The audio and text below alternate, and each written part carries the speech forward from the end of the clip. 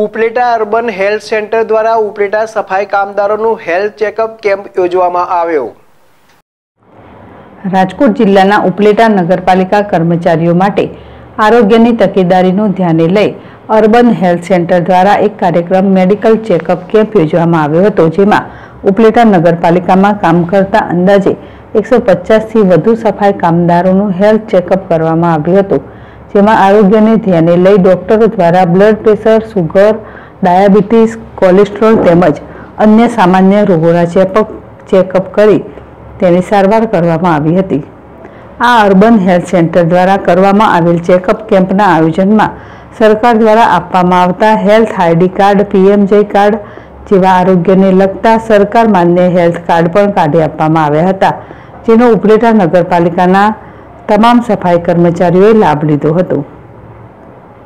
Vipul Dhamecha, Jadesh TV, Upleta.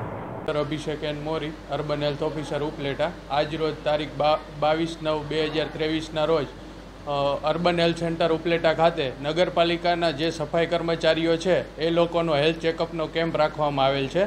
જેમાં બધાનું હેલ્થનું checkup થશે ને વધારાનું બીજું એ કે સરકારશ્રી દ્વા- દ્વારા ચાલતા પ્રોગ્રામો, જેમ કે health ID card PMJAY card, એ બધાના કાર્ડ જે લોકો કાર્ડથી વંચિત છે, જે લોકો આવક મર્યાદા ઓછી છે ને એમની પાસે કાર્ડ નથી, એ લોકોને આજે અમે કાર્ડ કાઢી આપીશું, પ્લસ હેલ્થ આઈડી કાર્ડ કાઢી આપીશું અને જે કંઈ બીપી, ડાયાબિટીસને લગતા તમામ રોગની દવા અહીંથી આપવામાં આવશે.